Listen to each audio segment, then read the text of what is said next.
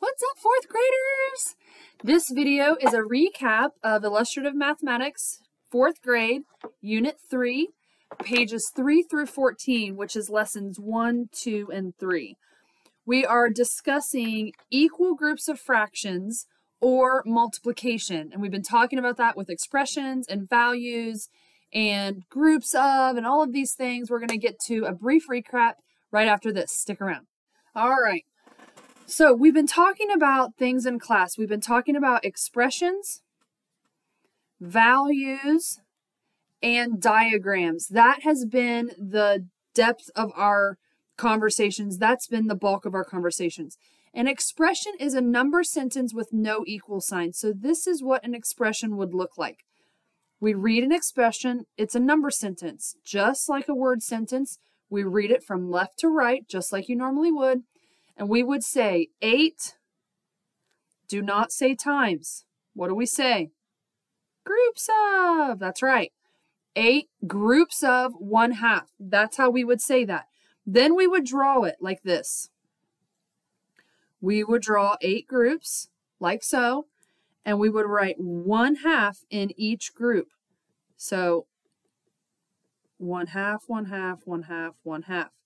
Now, when we say this, we count them all up. This is how we're going to find the value. We use the diagram to find the value. One half, two halves, three halves, four halves, five halves, six halves, seven halves, eight halves. We look here at these eight halves. And then we make some we make some observations here. We observe that the denominator is staying the same. We are not changing the size of the piece. The denominator stays the same here. We also observe that when we're multiplying, we all the expression is always going to have a unit fraction. We've been talking about this. A unit fraction always has a numerator of 1.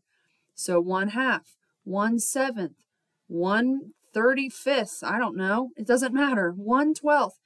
It's this one here that is the kicker.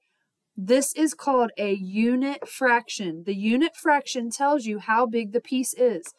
And so then when you have this eight and one eight groups of one half as an expression, then you count out the halves, one half, two halves, three halves, four halves, five halves, six halves, seven halves, eight halves, this becomes the value of your expression, and you can give that an equal sign.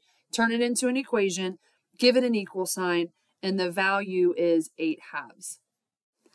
So that is really the crux. That is the whole of what we have been doing this week in class. We broke it, we started off with it real broken down, and then we bumped it up. And so any of the assignments or any work you see on pages 3 through 14, you can do any of that. There is an activity at the bottom of page 14, which is very valuable. And I'll just do it for us real quick here to show you what I mean. It's extremely valuable, and it would look like this. Step one, write a fraction with a numerator other than 1 and a denominator greater than 12. So a numerator different than 1, that would be 2, anything, not 1. Don't go more than 12. And then a denominator 12 or less. So let's call it 8. So I have a piece of paper here, has two eighths. Step number two, write the fraction, write the fraction you received. Normally you would be passing in a group. Write the fraction you received as a product of a whole number and a unit fraction. This is just writing an expression using a unit fraction, which I talked about a second ago, to represent this fraction. So we have two groups of 1 8, and it would then look like this. This is the expression that you're trying, that represents this fraction. And finally, we would draw a diagram. And I'll draw a different diagram right now than I drew just a second ago, just to show you your options. And so it would look like this. This is two groups of, we have two groups of one eighth in each group. And only one eighth is shaded because this just shows you that there are eight pieces in the whole and only one of these pieces are shaded. You could also do this to be exactly the same, a diagram like this. So this, you could have your student or you as the student could do as many of these as you wanted for extra practice. This is what we have been talking about. Building fractions from expressions, building expressions from fractions and diagrams and so forth, okay? That's what we've been working on. Let me know if you have any questions and I will catch you later.